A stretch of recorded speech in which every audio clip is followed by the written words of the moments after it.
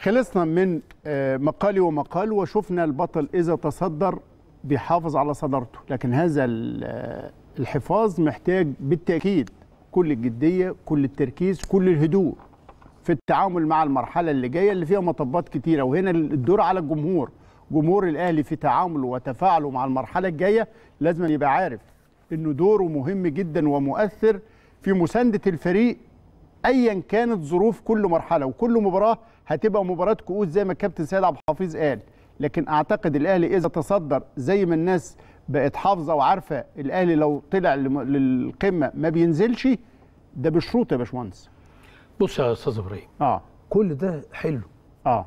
وكل ده التاريخ بيقدم الدليل عليه. امم ولكنه لا يمكن إن إحنا نجزم أن هذا ما سيحدث. أيوه. لا يمكن نتعامل مع الأمور يا كده يا بلاش. أيوه.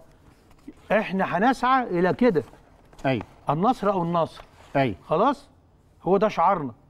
لكن فكرة إن إحنا حتى نتعامل مع المباراة إن إحنا بنرفض فيها الثواني اللي ما ما نعملهاش بالشكل اللي إحنا عايزينه. مم. إحنا وصلنا إلى هذه المرحلة. مم. الدقائق اللي ما تتلعبش زي ما إحنا عايزين بنبقى في منتهى القسوه في نقدنا للنادي الأهلي. مهم. آه تقعد واحد يقول لك هو الأهلي لسه بيبلبط في المية؟ فين الأهلي؟ يا عم استنى الماتش ما خلص مم. مش كده مش هنتعامل مع الهجمة ومع الطلعة ومع الباصة ومع الغلطة. في الآخر أنت بتتعامل مع كرة قدم بتتعامل على بشر. مهما بلغت كفاءة هؤلاء البشر مفيش حد كل أنت نفسك كل يوم مش هتصحى أنت. وأنت المد... أنت اللي عارف قدراتك.